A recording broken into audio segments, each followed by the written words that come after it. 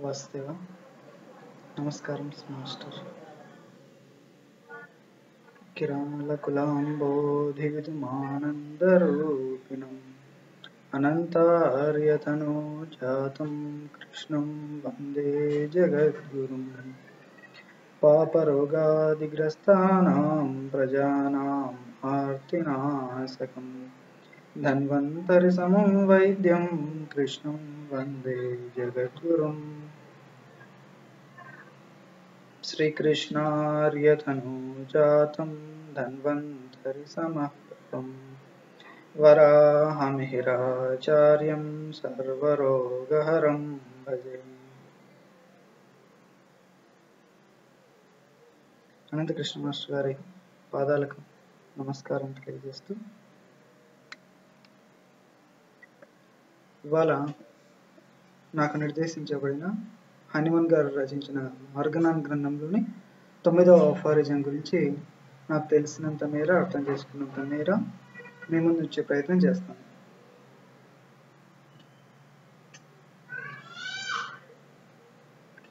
ఆధునిక వైద్య శాస్త్రం ద మోడర్న్ మెడికల్ సైన్స్. ఇప్పటికీ కూడా మనిషి రోగిని ఒక భౌతిక పదార్థంగా దాని కారణాలు అందులో వచ్చే చెదురుబాటుకి వ్యాధికి కారణాలని భౌతికంగానే వెతుకుతూ అందుకు వాటిని నివారించే మెడిసిన్స్ని కూడా భౌతిక రూపంలోనే తయారు చేయడం చేస్తూ మెడికల్ సైన్స్ని పోను పోను ఎన్లాడ్ చేస్తూ సంక్లిష్టపరుస్తూ వస్తుంది తప్ప సరైన సొల్యూషన్ ఇప్పటికీ కనుగొనలేకపోతున్నారు. కానీ ఇంతకు రెండు వందల సంవత్సరాల పూర్వమే హనిమన్ గారు మనిషి పుట్టడానికి జీవించడానికి వ్యాధుల కారణాలు వాటి నివారణ అన్నిటినీ కూడా సమర్ సమగ్రంగా మానవజాతికి అందించారు. అదంతా కూడా ఆర్గనాన్ అనే పుస్తకంలో నిక్షిప్తం చేస్తున్నారు. దానికి తొమ్మిదవ ఫారిజం అనేది ఒక కీ లాంటిది. ఇప్పుడు తొమ్మిదవ aphorism as it is Hanuman గారు ఇచ్చిన విధంగా చదువు the healthy condition of man the spiritual vital force the dynamics that animates the material body organism rules with unbounded sway and retain all parts of the organism in admirable harmonious vital operations as regards both sensations and functions so that our indwelling region gifted mind can freely employ this living healthy instrument for the higher purpose of our existence then continuation tenth ఆఫ్లో ఇచ్చారు అది కూడా కలిపి చదువుకుందాం the material organism without the vital force is capable of no sensations, no functions, no self-preservation. It derives all the sensations and perform all the functions of the life solely by means of the immaterial being, the vital principles, which animates the material organism in health and in disease. దాని continuation పదకొండవ ఫారిజంలో మళ్ళీ వ్యాధులు వచ్చినప్పుడు ప్రాణశక్తి దాన్ని ఎలా వ్యక్తపరుస్తుంది? దానికి వేదనలు ఎలా ప్రొడ్యూస్ అవుతాయి? అలా ఇస్తూ వచ్చారు. మనం తొమ్మిదవ ఫారిజం గురించి చదువుకున్నాం హనుమాన్ గారు చెప్పిన ప్రకారం మనిషి ఎగ్జిస్టెన్స్కి అది సర్వైవ్ అవ్వడానికి కారణం ద వైటల్ ఫోర్స్ ప్రాణశక్తి ఆత్మ యొక్క వ్యక్త స్వరూపం ఇది. దీని వలననే మనిషి మనిషి జీవి యొక్క ఆవిర్భావం తల్లి గర్భంలో ఒక రూపు సంతరించుకోవడం తర్వాత తల్లి నుంచి వేరే బయటకు వచ్చిన తర్వాత స్వతహాగా సర్వైవ్ అవ్వడం తర్వాత కార్యక్రమాలు నిర్వర్తించడం తర్వాత ఈ సమాజంలో జరుగుతున్నవి గమనించగలగడం వాటికి తదనుగుణంగా స్పందించగలగడం. ఇవన్నీ కూడా ఆరోగ్యవంతునిలో సక్రమంగా ఈ ప్రాణశక్తి ప్రవహిస్తూ ఉన్నప్పుడు జరుగుతూ ఉంటాయి. అలా జరుగుతూ ఉన్నప్పుడు మనకి ఇవ్వబడిన రీజన్ గిఫ్టెడ్ మైండ్ విచక్షణాయుతమైన మనస్సు నిర్ణయాత్మకమైన మనస్సు. దాని సహాయంతో ఈ ఇన్స్ట్రుమెంట్ అనేది జీవించి ఉన్న ఈ ఇన్స్ట్రుమెంట్ అంటే మన మెటీరియల్ మన శరీరం వచ్చేసి హయ్యర్ పర్పజెస్ ఆఫ్ అవర్ ఎగ్జిస్టెన్స్కి వాడుకొనబడుతుంది. ప్రాణశక్తి లయబద్ధంగా ప్రసరిస్తూ ఉన్నప్పుడు శరీరంలో మనకి ఇవ్వబడిన జ్ఞానేంద్రియాల ద్వారా కన్ను ముక్కు చెవి నాలుక చర్మం ఉన్నాయి కదా వీటి ద్వారా మన చుట్టూ సమాజంలో జరుగుతున్నవి మన చుట్టూ ఉన్న పరిస్థితుల్ని రిసీవ్ చేసుకోవడం ఆ రిసీవ్ చేసుకున్న వాటిని మనస్సు బుద్ధి ఇంటెలిజెన్సెస్ ఇవి వాటిని అనలైజ్ చేయడం తదనుగుణంగా ప్రతిచర్యలను నేర్పడం. ఆ ప్రతిచర్య మనకి ఫంక్షన్స్ ద్వారా కర్మేంద్రియాల ద్వారా చర్య జరుగుతూ వస్తుంది. ఇదంతా కూడా ఒక ప్రాణశక్తి సక్రమంగా ప్రసరిస్తున్నప్పుడు ఒక లయబద్ధంగా జరుగుతుంది. ఆ ప్రాణశక్తి చెదురుబాటు జరిగినప్పుడు విఘాతం ఏర్పడినప్పుడు వాటిలో మార్పులు జరుగుతాయి. అవి వేదనల ద్వారా వ్యక్తీకరణ అవుతాయి. ఇదే ప్రాణశక్తి శరీరాన్ని వదిలిపెట్టి వెళ్ళినప్పుడు ఆ మిగిలిన ఈ శరీరం ఈ ఫ్యాకల్టీస్ అన్నిటిని కోల్పోతుంది. కళ్ళున్నా చూడలేదు ముక్కున్నా వాసన తెలియదు చెవులున్నా వినలేదు. And it it death and decays disintegrate అయిపోతుంది విచ్ఛిన్నం అవుతుంది. ప్రాణశక్తి అనేది శరీరంలో లేకపోతే. ఇక్కడ హనుమన్ గారు ప్రాణశక్తి గురించి చెప్తూ అది ప్రాణ ప్రవృత్తులన్నింటినీ లయబద్ధంగా నిర్వహిస్తూ ఉన్నప్పుడు మన రీజన్ గిఫ్టెడ్ మైండ్ బుద్ధి దాన్ని అనుసరించి ఉన్న మనస్సు బుద్ధిని అనుసరించి ఉన్న మనస్సు ద్వారా ఈ ఇన్స్ట్రుమెంట్ని ఈ హ్యూమన్ బీయింగ్ని తన ఉనికి యొక్క హయ్యర్ పర్పసెస్ ఏ ఉద్దేశంతో అయితే భూమి మీద ఉన్నాడో దానిని నెరవేర్చడానికి తదనుగుణంగా పనిచేస్తుంది. దీని కారణంగానే మనిషికి ఏమవుతుంది? సహజంగా స్వభావ సిద్ధంగా కొన్ని కొన్నిటి పట్ల ఆకర్షణ కొన్ని వృత్తుల పట్ల ఆకర్షణ కొన్ని పనుల పట్ల ఆకర్షణ ఇవన్నీ కలుగుతూ వస్తాయి. స్వధర్మం అని చెప్తారు కదా మనకి. ఈ స్వధర్మం అనేది ప్రాణశక్తి యొక్క వ్యక్త స్వరూపం. దానివల్లనే ఒక పని పట్ల ఆకర్షిత అవుతారు. ఆ ఆ పని అదే పనికి అతని శరీరాన్ని నిర్దేశించినప్పుడు అందులో అతను గ్రో అవ్వడం షైన్ అవ్వడం సమాజానికి పనికి రావడం అనేది జరుగుతుంది. అలా కాకుండా తద్వ్యతిరేకంగా దానికి అనుకూలం అవ్వని వృత్తిని సెలెక్ట్ చేసుకున్నప్పుడు జీవితం భారంగాను అస్తవ్యస్తంగాను మెటీరియలిస్టిక్ గాను తయారవుతుంది. ఇలా ఈ స్వభావాలను అనుసరించే పూర్వం పూర్వకాలంలో మనకి చతుర్వర్ణాలు అనేటివి ఏర్పడ్డాయి. వాళ్ళ స్వభావాల్ని వాళ్ళ క్యారెక్టర్ని ఏదా ఏ పనికి పనికి వస్తాడు?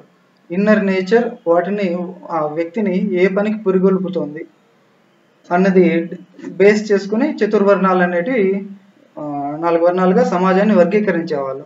ఆ పనులలో వాళ్ళు షైన్ అయ్యేవాళ్ళు సమాజం గ్రో అయ్యేది. అలా కాకుండా ప్రస్తుత పరిస్థితిలో ఎలా ఉంటుంది చూద్దాం.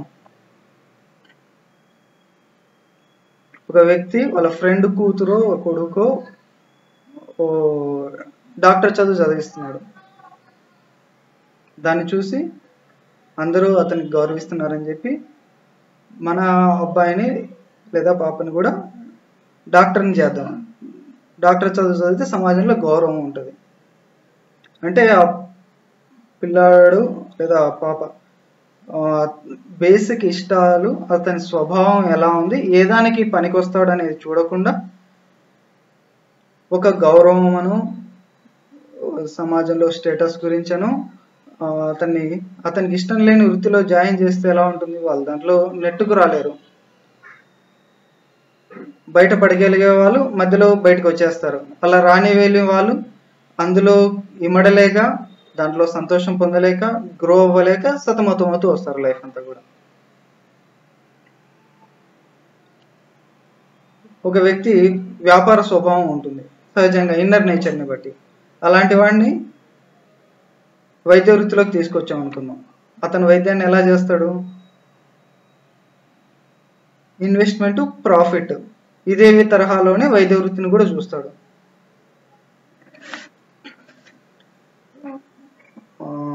ఇలా వీటి నుంచే మాస్టర్ గారు ఇచ్చిండేది healers are born physicians are made. ఇలా స్వభావ సిద్ధంగా ఒక వృత్తికి పనికొచ్చే వాళ్ళు అదే వృత్తిలో ఉన్నప్పుడు వాళ్ళ ఎగ్జిస్టెన్స్ యొక్క హయ్యర్ పర్పస్ అనేది సర్వ్ అవుతుంది. అలా లేనప్పుడు అది వాళ్ళకి వాళ్ళ ఆరోగ్యానికి సమాజానికి కూడా హేతు వినాశనానికి లేదా గ్రోత్ లేకుండా ఆగిపోవడానికి కారణం అవుతుంది. విచ్ఛిన్నం అవడానికి కారణం అవుతుంది. సమస్యలకి కారణం అవుతుంది. అందువల్ల హనుమన్ గారు ఈ రీజన్ గిఫ్టెడ్ మైండ్ని దాని వైటల్ ఫోర్స్కి అనుగుణంగా ప్రవర్తిస్తూ ఉన్నప్పుడు స్వతహాగా మైండ్ ఉద్దేశించి కాకుండా పనిచేస్తూ ఉన్నప్పుడు మన ఎగ్జిస్టెన్స్ అనేది బాగుంటుంది. అలా ఉన్నప్పుడే మనం ఏం చూడాలో అదే చూస్తాం ఏం వినాలో అదే వింటాం దానికి ఎలా రియాక్ట్ అవ్వాలో ఆ విధంగానే రియాక్ట్ అవుతాం. ఇలా ఉన్నప్పుడే మనకి జీవితంలో ఎదురయ్యే సంఘటనలన్నింటినీ కూడా ఒక పాజిటివ్ సైడ్ మలుచుకోగలుగుతాం. మాస్టర్ గారు ఉదాహరణ తీసుకుంటే ఈకే గారు ఆయన జీవితంలో ఎదురైన సంఘటన బుజ్జి గారి వ్యాధి. కానీ ఆ వ్యాధి నుంచి కూడా సమాజానికి వైద్య సేవ అనేది ఒక ప్రసాదంగా ఇవ్వబడింది. అది ఎలా వచ్చింది అంటే ఆయన మనస్సు బుద్ధి అన్నీ కూడా ఆత్మవైపు ప్రయాణం చేస్తున్నాయి కాబట్టి. ఆత్మలు లీనమై అక్కడి నుంచి దానికి అనుగుణంగా ప్రవర్తిస్తూ వస్తున్నారు కాబట్టి.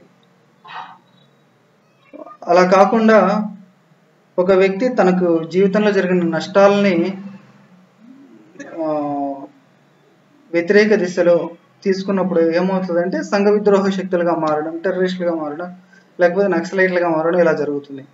మహాత్మా గాంధీ గారు చూసుకుందాం. ఆయన రైలుబెట్లో నుంచి తోసేశారు. ఆయనకు అతనికి మనసుకి ఒక విఘాతం కలిగింది. దాన్ని ఆయన ఎలా మలుచుకున్నారు? ఆ వారి మీద ఉన్న కోపము ఆ వ్యతిరేక స్వభావాన్ని ఎలా వాడుకున్నారు? అది ఒక సమాజ హితం కోసం వాడుకోగలిగారు. అదే రీజన్ గిఫ్టెడ్ మైండ్ ఆ రీజనింగ్ ఫ్యాకల్టీ సరిగ్గా పనిచేస్తున్నప్పుడు ఈ ఇన్స్ట్రుమెంట్ అనేది సమాజం యొక్క హృతం కోసం తన బాగు కోసం ప్రపంచం బాగుండడం కోసం ఇలా ఉపయోగపడుతూ వస్తుంది. ఇవన్నీ ఒక సామరస్యంగా నడుస్తూ ఉన్నప్పుడు ఆరోగ్యం అనేది చెదురుబాటు కాకుండా ఉంటుంది. దీనికి ఎగ్జాంపుల్గా మాస్టర్ గారు ఆర్గనాన్ అండ్ ఎక్స్ప్లెనేషన్లో ఇచ్చిండేది. ఒక వాయిద్యకారుడు వీణ వాయిస్తూ ఉన్నాడు అనుకుందాం. ఆ వీణ వాయించడం మొదలు పెట్టడానికి ముందు అక్కడ వీణ వాయిద్యకారుడు వీణ మనము అన్ని ఎగ్జిస్టెన్స్లో ఉంటాం మనకు గుర్తుంటాయి.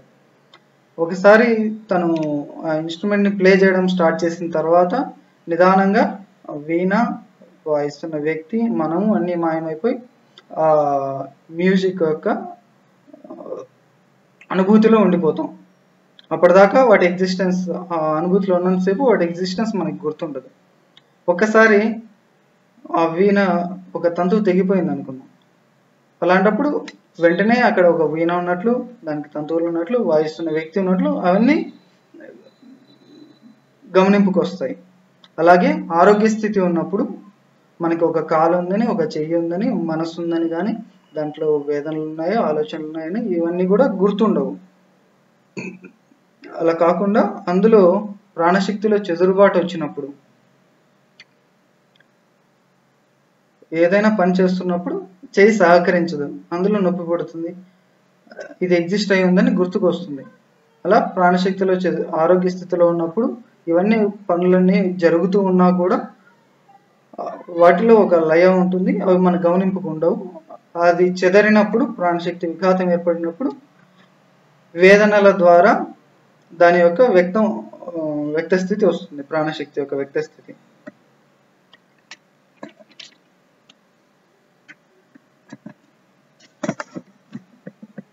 ప్రాణశక్తి దెబ్బతినడానికి విఘాతానికి లోనవడానికి మార్పులు రావడానికి కారణాలు ఎలా ఉంటాయి? ఏమై ఉంటాయి? ఆ కారణాలలోనే ఇందాక ఒక చెప్పుకున్న ఎగ్జాంపుల్ వాళ్ళ స్వభావానికి తగిన పనులను చేయలేకపోవడం. ఒకటి ఇంకొకరి ఫోర్స్ వల్ల కావచ్చు లేదు వాళ్ళ బుద్ధిని వాడుకోకుండా మనస్సును బట్టి నిర్ణయాలను తీసుకొని అటువంటి వృత్తుల్ని సెలెక్ట్ చేసుకోవడం. ఇలాంటిది ఒకటి మనిషి యొక్క ఒక స్వేచ్ఛను కోల్పోవడం లేదా జీవితంలో ఎదురయ్యే సంఘటనలు అనుకోని సంఘటనలు ఇంకొకరి వల్ల మోసగింపబడ్డము కావచ్చు దెబ్బతినడము కావచ్చు లేదు యాక్సిడెంట్స్ ఇలాంటివి కావచ్చు ఏదైనా సరే ఇమెటీరియల్ బీయింగ్ వల్లనే ఒక విఘాతం ఏర్పడినప్పుడు ప్రాణశక్తిలో చెదురుబాటు వస్తుంది. ఉదాహరణకి ఒక వ్యక్తి కారులో ప్రయాణం చేస్తూ ఉన్నాడు. హైవే వాతావరణం బాగుంది. చాలా స్పీడ్గా వెళ్తూ ఉన్నాడు. అంతా హెల్దీగా ఉంది. సడన్గా తనకు ఎదురుగా అనుకోకుండా ఒక ట్రక్ వచ్చింది. తను చూసుకొని బ్రేక్ వేశాడు. అది ఆ ట్రక్ దగ్గర దాకా వెళ్ళింది. జస్ట్ త్రుటిలో ప్రమాదం తప్పి బయటపడ్డాడు అనుకున్నాం.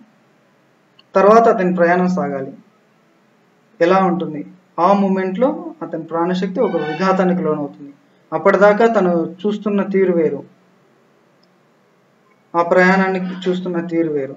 అప్పటి నుంచి ఆ తర్వాత ప్రయాణం అతను చూసే విధానం అతను రిసీవ్ చేసుకునేది అతని ప్రవర్తన తీరు అన్నీ మారిపోతాయి.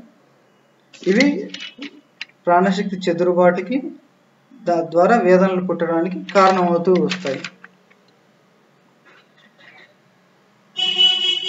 ఇవన్నీ కూడా మనకి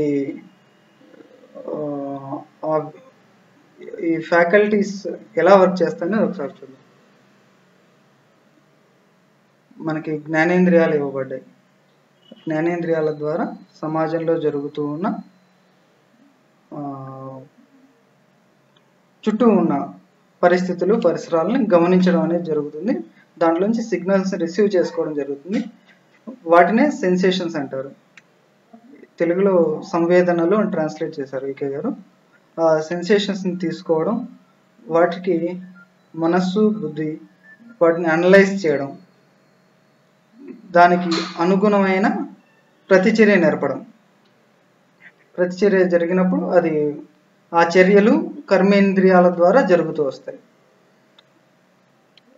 సెన్సేషన్స్ జ్ఞానేంద్రియాలు లోపలికి రిసీవ్ చేసుకోవడానికి పనికొచ్చేవి ఫిజికల్ ప్లేన్లోను సెన్సరీ నర్వస్ సిస్టమ్ అంటారు.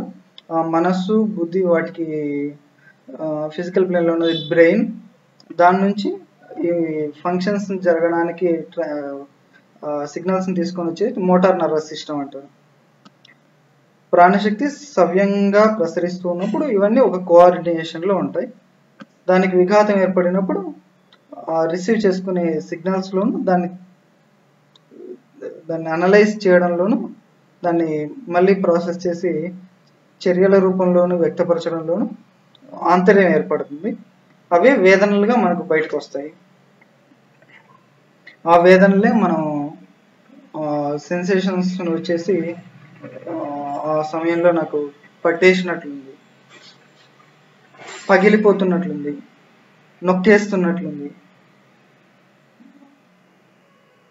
సఫకేషన్ ఊపిరాడినట్లయితుంది.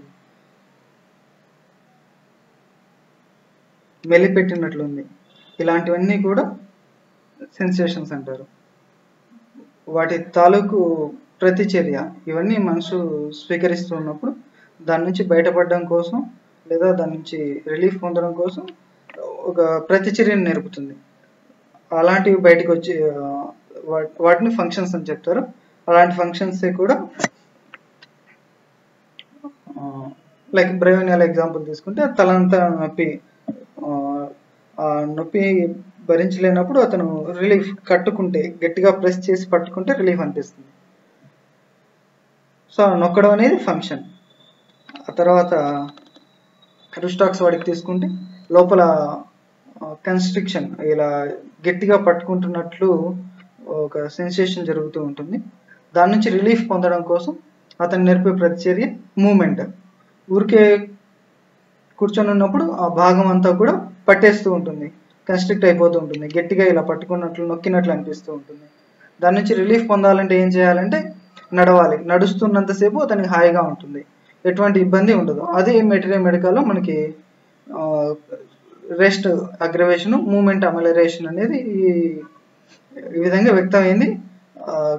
దాని వెనకాల ఈ రెండు ఒక సెన్సేషన్ అనేది ఒక ఫంక్షన్ అనేది జరుగుతూ ఉంటాయి ఆ, తర్వాత మనం ఒక ఆర్నికా పేషెంట్ ఎగ్జాంపుల్ తీసుకుందాం.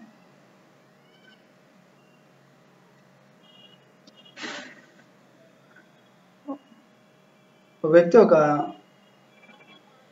యాక్సిడెంట్కి గురయ్యాడు. దాని నుంచి బయటపడ్డాడు. ఇందాక చెప్పిన ఎగ్జాంపుల్ తీసుకుందాం. అందులో అతనికి ఫిజికల్గా ఒక దెబ్బ తగలేదు ఫిజికల్ హర్ట్ ఏమాత్రం లేదు. ఇంటికి వచ్చి పడుకున్నాడు. రాత్రికి విపరీతమైన జ్వరం వచ్చింది. పుల్ల నొప్పులు.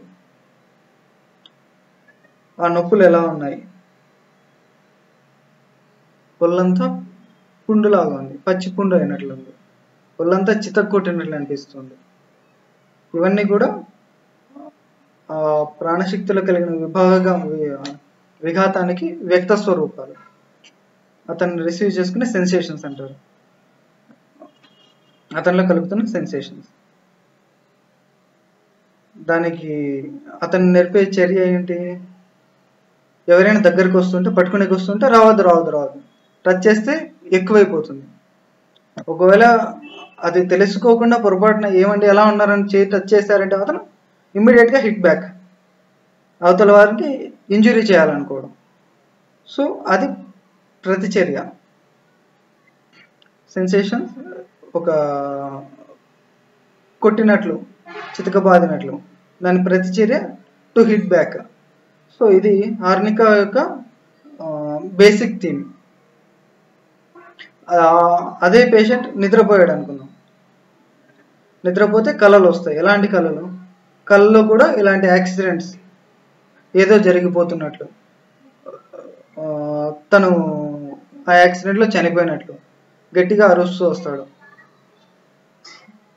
ప్రాణశక్తి యొక్క వ్యక్త స్వరూపాలలో కళలు కూడా ఒకటి. ఆ కళలు వాటి వెనుక కారణాలు ఏంటనేది మనం ఎంక్వైరీ చేయాల్సి వస్తుంది. ఒక కళ వస్తుందంటే ఆ కళలో ఆ వ్యక్తి ఏ అనుభూతి చెందుతున్నాడు ఏం ఎక్స్పీరియన్స్ అవుతున్నాడు అన్నది మనం కనుక్కోవాల్సి ఉంటుంది. ఇప్పుడు సపోజ్ ఆర్నిక పేషెంట్లోనే చూసుకుందాం. కళలు యాక్సిడెంట్స్ వస్తాయని చెప్తాడు. ఓన్లీ యాక్సిడెంట్స్ దాకా ఆగిపోతే ఆ యాక్సిడెంట్స్లో అతనికి ఏమవుతుంది అన్నది మిస్ అవుతాం. అతనికి ఏమవుతుంది అని ఎంక్వైరీ చేసినప్పుడు అతను గాయాలైనట్లు మొత్తం అంతా పుండులాగా పెయిన్స్ ఉన్నట్లు ఆ ఎక్స్పీరియన్స్ అనేది అతను ఆ కళలో పొంది ఉంటాడు. దా- ఆ క్షణం అక్కడ ఒక నిమిషం ఆగి పేషెంట్ని ఆపి ఆ మూమెంట్లో ఏమవుతుంది అనేది ఎంక్వైరీ చేస్తే అతను నిదానంగా చెప్పగలుగుతాడు. సో వైటల్ ఫోర్స్ తాలూకు వ్యక్త స్వరూపాల్లో డ్రీమ్స్ ఒకటి ఈ సెన్సేషన్స్ ఒకటి తర్వాత స్వభావాలు వృత్తులు ఇష్టాయిష్టాలు. కొంతమంది ఒక కళకి అట్రాక్ట్ అవుతూ ఉంటారు. ఒక పిల్లాడు ఉంటాడు. అక్కడ మ్యూజిక్ వస్తూ ఉండగానే ఇక్కడ డ్యాన్స్ చేస్తాడు. సో వైటల్ ఫోర్స్ అనేది ఆ విధంగా రియాక్ట్ అవుతూ ఉన్నది. ఇష్టాయిష్టాలు ఇవన్నీ కూడా ప్రాణశక్తి యొక్క వ్యక్త స్వరూపాలు. అంటే the core of the patient real essence of the పేషెంట్ని మనకి ఇవ్వగలిగేటివి.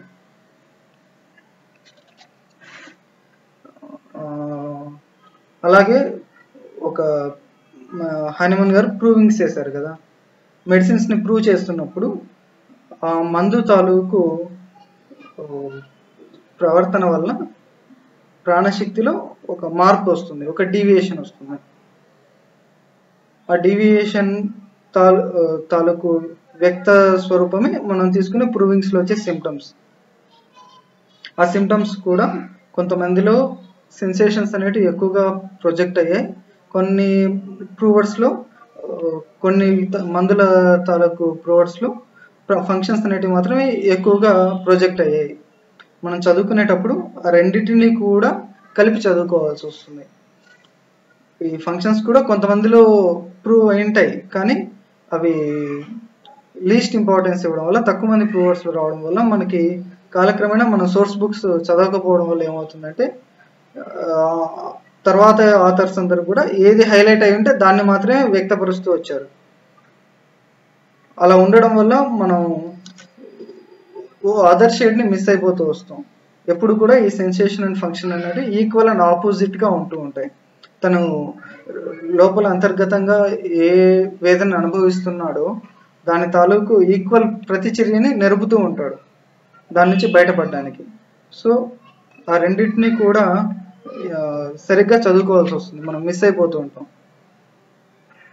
ఇలాంటిది మనకు ఒక ఎగ్జాంపుల్ తీసుకుంటే ఆరోమెట్ డ్రగ్ గురించి చూస్తే ఆరంలో పిక్చర్ అంతా కూడా ఫెయిల్యూర్ పార్టే ఇస్తారు. తను చనిపోవాలనుకోవడం సూసైడల్ టెండెన్సీస్ వీటి గురించి ఎక్కువ మాట్లాడుతూ ఉన్నట్లు మెటీరియల్ మెడికల్ అంతా రాస్తూ వస్తారు. జీవితం పట్ల ఒక విరక్తి బ్రతికుండడం వేస్ట్ చనిపోదాం ఇవన్నీ కూడా ఎక్కువ మంది ప్రొవర్స్లో హైలైట్ అయ్యాయి. కానీ దీని బ్యాక్గ్రౌండ్ ఆరం యొక్క అవ్యక్త స్థితి ఒకటి ఉంది దాని వెనుక స్టోరీ ఇంకొకటి నడుస్తూ ఉంటుంది. ఏంటది?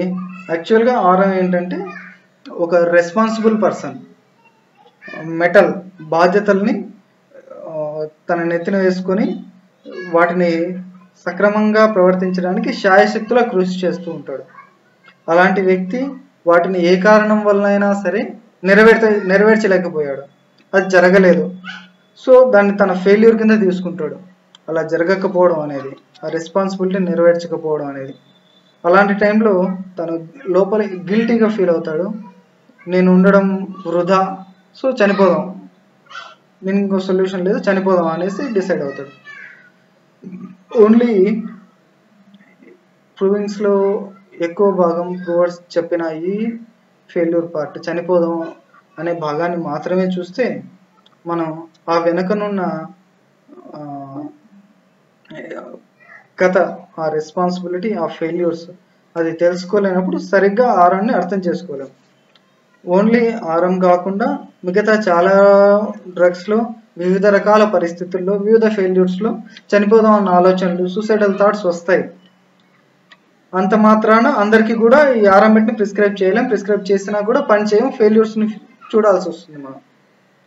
దానికి కారణం ఏంటంటే వీళ్ళలో ఉన్న ఈ ఫంక్షన్కి సూసైడ్ చేసుకుందాం అనే ఫంక్షన్కి బ్యాక్గ్రౌండ్లో ఒక కాజ్ ఒక సెన్సేషన్ ఉంటుంది. అదేంటి? రెస్పాన్సిబిలిటీ దాని ఫెయిల్యూర్ లోపల అది ఉండడం వల్ల దాని జరిగిన ప్రతిచర్యగా ఇక్కడ సూసైడల్ థాట్స్ వస్తున్నాయి. సో ఒక డ్రగ్ని అర్థం చేసుకోవాలనుకుంటే రెండు వైపులా కూడా చూడాల్సి వస్తుంది మనం. అలాగే లాకెసిస్ డ్రగ్లో లాక్సిస్లో థ్రోట్ అంతా కూడా పట్టేసినట్లు నొక్కేసినట్లు సఫికేషన్ ఫీలింగ్ ఊపిరి ఆడనట్లు ఇవన్నీ కూడా ప్రూవింగ్స్లో బాగా వచ్చాయి. దాని తాలూకు ఆపోజిట్ పార్ట్ ఫంక్షనల్ పార్ట్ ఉంది. సెన్సిటివిటీ అతను అక్కడ ఏది టచ్ చేయనీడు ఏది ఇరుగ్గా బిగుతుగా ఉండడం అనేది తట్టుకోలేడు. మొత్తం వదులుగా ఫ్రీగా ఉండాలి గాలి బాగా ఆడుతుండాలి. ఇలా ఒక సెన్సేషన్ దానికి ఆపోజిట్ ఫంక్షన్ ఇది ప్రతి డ్రగ్లో కూడా మనం గమనిస్తూ వెళ్తే రెండు ఉంటూ వస్తాయి. సో వాటిని జాగ్రత్తగా గమనించి చదువుకుంటున్నప్పుడు మనకి ఆ మందు తాలూకు సమగ్ర స్వరూపం అనేది తెలుస్తుంది. అందుకనేసి హనుమన్ గారు మెటీరియల్ ఆర్గనాన్లో చాలా చోట్ల ఈ సెన్సేషన్ ఫంక్షన్ అనే పదాలు రెండు చోట్ల వాడుతూ వచ్చారు. ఈ నైన్త్ ఆఫ్ ఆరిజన్లోనూ వాడారు. లెవెన్త్లోను వాడారు. తర్వాత టెన్త్ ఆఫ్ ఆరిజన్లో ఆ లెవెన్త్లోను మూడు చోట్ల సీక్వెన్స్గా అతను వైటల్ ఫోర్స్ తాలూకు ఫంక్షన్స్ని చెప్తూనే as regards both sensations and functions అంటూ వచ్చారు. It capable of without the vital force there is no sensation and no function it derives all sensation and performs all the functions అని వచ్చాయి తర్వాత deviation అయినప్పుడు జరిగే వేదనలు కూడా సెన్సేషన్స్ అండ్ ఫంక్షన్స్ రూపంలో వ్యక్తం అవుతాయి అని ప్రతి చోట్ల ఇది వాడుతూ వచ్చారు. అది ఆయన దాన్ని చూస్తూ గమనిస్తూ ఉండేవారు. సో అలా నైన్త్ ఫరిజం అనేది మన జీవితానికి సమాజానికి వ్యాధులను అర్థం చేసుకోవడానికి ట్రీట్మెంట్ పార్ట్లోను మెడిసిన్స్ని అర్థం చేసుకోవడానికి అన్నిటికీ కూడా ఒక కీగా నిలిచింది ఒక సెంట్రల్ పాయింట్గా నిలిచింది మన ఎగ్జిస్టెన్స్కి వ్యాధులకి వైటల్ ఫోర్స్ కారణం అవుతుండడం వల్లనే శివ్ గారు ప్రసాదించిన వేలో యోగా టీచ్ ప్రాణ ట్రీట్ అని చెప్పారు. The prana treat that prana is nothing but the vital force దాన్ని ట్రీట్ చేయొచ్చు మనం. అది సక్రమంగా అయినప్పుడు మన హెల్త్ అనేది మన వ్యాధులు అనేది రెక్టిఫై అవుతాం. ఇది మనం మాస్టర్ గారు ఎన్ఐఎల్ జీవితాల్లో మనం చూస్తూనే ఉన్నాం. అదే కారణంగానే ఈకే గారు ఉపదేశం అనే గ్రంథంలో ఉత్తమ వ్యాధి నివారణ మార్గం అని ఒక ఆర్టికల్ ఇచ్చారు. అందులో ఏంటంటే రోగి యొక్క ఉత్తమ వ్యాధి నివారణ మార్గం. ఏం అవసరం లేదు. రోగి యొక్క మనస్సుని వాని అనుభూతి వైపు మరల్చగలిగితే ఆల్రెడీ దానివల్ల హీలింగ్ జరిగిపోతుంది. వేరే వ్యాధి విధా వేరే విధానం అక్కర్లేదని చెప్పారు. ఈ మార్గం వలన సూక్ష్మ శరీరం ఆత్మమయమై ఆరోగ్య స్థితిని చెందుతుంది. మన మనస్సు ఇంద్రియాల వైపు మరలకుండా మనస్సు ఇంద్రియాలు మాత్రమే పనిచేయడం కాకుండా అది ఆత్మగతమైనప్పుడు అంతర్గతమైనప్పుడు ఆటోమేటిక్గా మనలో ఉన్న డీవియేషన్స్ జరగాల్సిన కరెక్షన్స్ అన్ని జరిగిపోతూ వస్తాయి. అక్కడ ఆత్మతో లీనమవుతున్నప్పుడు జరిగే స్థితిని అనుభూతి అని చెప్తారు. ఆ అనుభూతి వైపు మరలినప్పుడు వ్యాధులు అవంతటవే నివారణ అవుతాయి. ఔషధాలు ఎన్నడూ కూడా వ్యాధిని నివారింపవు. సరైన ఔషధము మీలోని జీవశక్తిని నివారణ సంకల్పమునకు మేల్కొల్పును. సరైన ఔషధం ఈ మనలో వచ్చిన సింటమ్స్కి తాలూకు సరైన ఔషధాన్ని నిర్ణయించుకున్నప్పుడు ఆ నిర్ణయించి వేసినప్పుడు ఆ ఔషధం ఏం చేస్తుంది? యాక్చువల్గా ఈ ఔషధం తాలూకు మెటీరియల్ కాదు మనం ఇచ్చేది. ఇది కూడా పొటెంటైజ్డ్ ఫామ్లో ఇస్తూ ఉంటాం. పొటెంటైజేషన్లో అక్కడ మిగిలేది కూడా కేవలం ఎనర్జీ మాత్రమే. ఈ ఎనర్జీ వైటల్ ఫోర్స్ ఎనర్జీలో ఏ డివియేషన్స్ ఉన్నాయో దానిని కరెక్షన్ చేస్తుంది. ఆ కరెక్షన్ అవ్వడం వల్ల ప్రాణ ప్రవృత్తులన్నీ కూడా సరిచేయబడతాయి. సో దాని వలన ఆరోగ్య స్థితి నెలకొల్పుతుంది. అంతే తప్ప మెడిసిన్ మందు అనేది ఆరోగ్యాన్ని చేకూర్చదు. మందు ప్రాణ ప్రవృత్తుల్లో ప్రాణశక్తిలో వచ్చిన చెదురుబాటును మాత్రమే సరిచేస్తుంది. సో అదే ఇక్కడ మాస్టర్ గారు సరైన ఔషధం మీలోని జీవశక్తిని నివారణ సంకల్పమునకు మేల్కొల్పును. అప్పుడు మీ శక్తియే మీ వ్యాధులను నివారించును. కాబట్టి హోమియో వైద్యుని యొక్క కర్తవ్యం ప్రాణశక్తిలోకి మనం మేల్కొల్వడం మేల్కోవడం. మనస్సుని ఆత్మయందు లీనమయ్యేటట్లు లయమయ్యేటట్లు మనం ప్రవర్తించడం. ఆత్మానుభూతి వైపు ప్రయాణం చేయడం. ఇది మన యొక్క వ్యాధులను నివారించడమే కాకుండా తద్వారా ఇదే మార్గంలో పేషెంట్స్ యొక్క వ్యాధిగ్రస్తుల యొక్క ఆరోగ్యాన్ని కూడా మనం రెక్టిఫై చేయగలుగుతాం.